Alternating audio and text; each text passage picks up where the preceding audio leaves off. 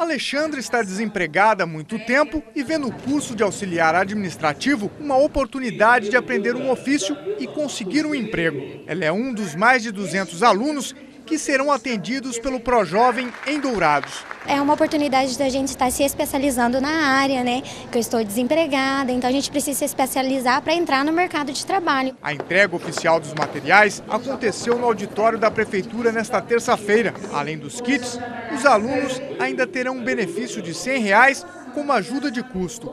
As aulas serão ministradas nas escolas estaduais Sócrates Câmara, Reis Veloso e Antônia da Silveira Capilé. Esse curso é profissionalizante, é curso de cidadania, porque tem horas também de cidadania.